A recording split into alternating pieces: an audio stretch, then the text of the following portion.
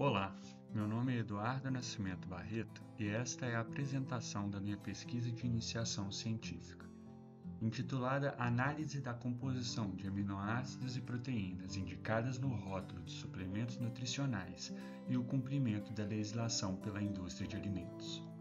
Este trabalho foi realizado sob orientação do professor Renato Moreira Nunes na Universidade Federal de Juiz de Fora. Com o aumento da busca por saúde, desempenho físico e estética, o mercado de suplementos alimentares tem crescido substancialmente no Brasil. Entre 2015 e 2021, o consumo desse tipo de produto aumentou em 10%. Contudo, a precisão das informações nos rótulos desse produto é essencial para garantir a segurança dos consumidores e o cumprimento da legislação vigente. Esta pesquisa teve como objetivo verificar a conformidade dos rótulos de suplementos alimentares contendo soro do leite liofilizado, blends de proteína animal, vegetal e aminoácidos de cadeia ramificada com a legislação brasileira. Além disso, avaliamos a existência de discrepância entre as calorias informadas nos rótulos e os macronutrientes, o score químico dos suplementos a partir do aminograma informado, a adequação às normas referentes aos limites de nutrientes, substâncias bioativas, enzimas e probióticos e se os produtos oferecem no mínimo 10 gramas de proteína por porção.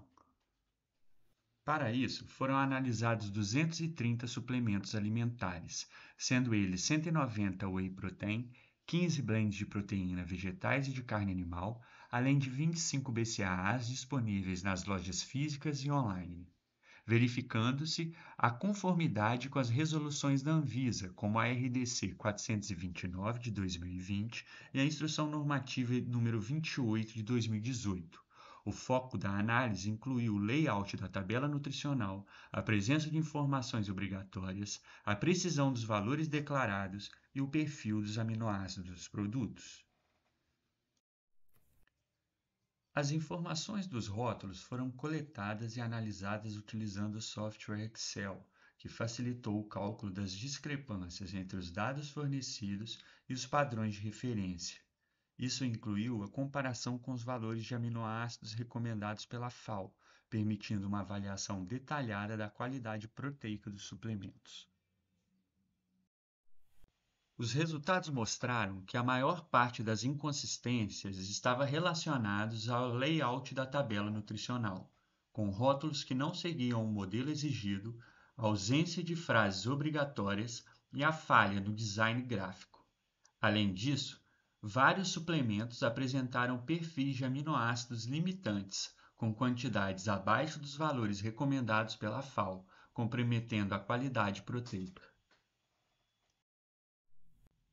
Ainda há desafios significativos na precisão da rotulagem e na certeza da qualidade dos componentes nutricionais. A avaliação mostrou que 48% dos produtos analisados apresentaram um ou mais erros nos rótulos. Essa falha na rotulagem pode induzir os consumidores ao erro. A pesquisa conclui que, embora o mercado de suplementos alimentares no Brasil esteja em expansão, há falhas significativas na conformidade dos rótulos com a legislação vigente.